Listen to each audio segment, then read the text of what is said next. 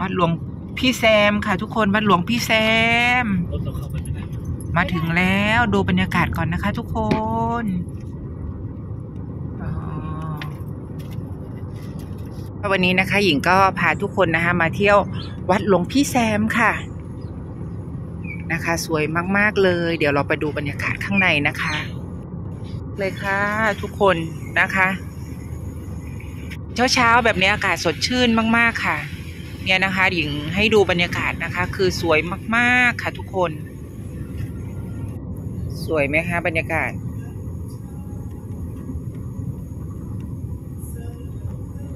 บรรยากาศนะคะ เช้าเช้าๆสวยงามมาก ๆ ค่ะ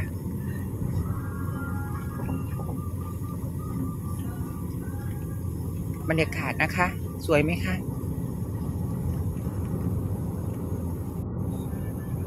วัดหลวงพี่แซมนะคะ มาทำความรู้จักนะคะ อยู่ที่เลขที่ 51 หมู่ 10 นะคะ ทางหลวงหมายเลข 331ตำบลหนองปลืออำเภออพนัสนิคมจังหวัดชนบุรีค่ะ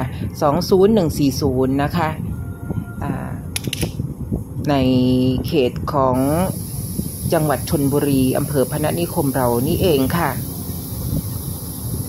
บรรยากาศสวยมาก ๆ นะคะ วัดนี้นะคะ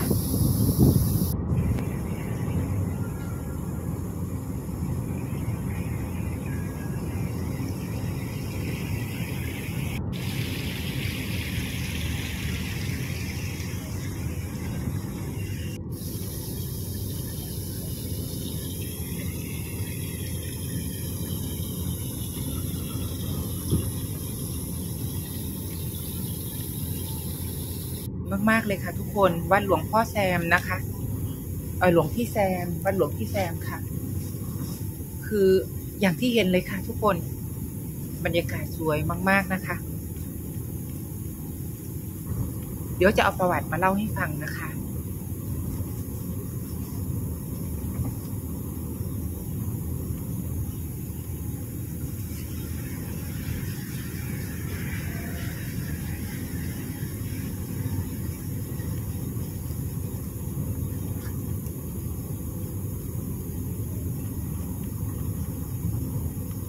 ภายในวัดหลวงพี่แซมก็จะมีถ้ำลอดมหาจักรพรรดินะคะ วัดหลวงพี่แซมเนรมิตถ้ำศักดิ์สิทธิ์จากฝีมือมนุษย์นะคะถ้ำที่ทุกคนเห็นแล้วต้องอึ้งนะคะกับความอลังการความยิ่งใหญ่นะคะภายในตัวถ้ำแล้วก็บรรยากาศภายในรอบๆบริเวณวัดสวยงามห้องน้ำสะอาดสะอ้าน ทุกคนต้องถอดรองเท้า แล้วก็เปลี่ยนรองเท้าก่อนเข้าไปนะคะ ในวัดแห่งนี้นะคะจะมีถ้ำลอดมหาจักรพรรดิวัดหลวงพี่แซมเป็น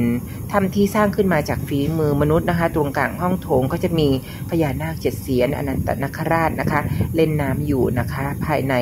ก็จะมีพระพุทธรูปต่างๆนะคะรวมถึงพระเกจิอาจารย์นะคะเอ่อเป็นสถานที่ศักดิ์สิทธิ์นะคะ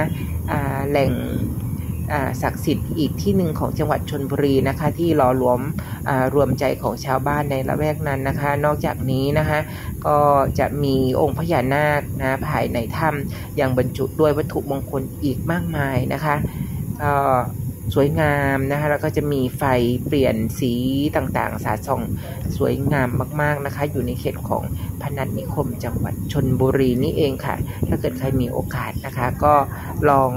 อแวะมาเยี่ยมชมนะคะแล้วก็ยังเป็นสถานที่ปฏิบัติธรรมสำหรับผู้ที่มีความเลื่อมใสในพระพุทธศาสนาด้วยนะคะ ใครที่ยังไม่รู้จะไปเที่ยวไหนในวันเสาร์อาทิตย์ก็ลองขับรถชิวๆไปเที่ยววัดหลวงพี่แซมนะคะ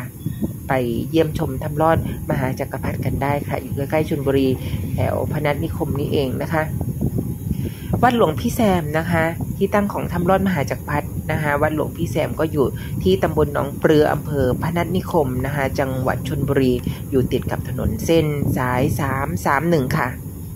ไปดูบรรยากาศสวยๆด้วยกันค่ะ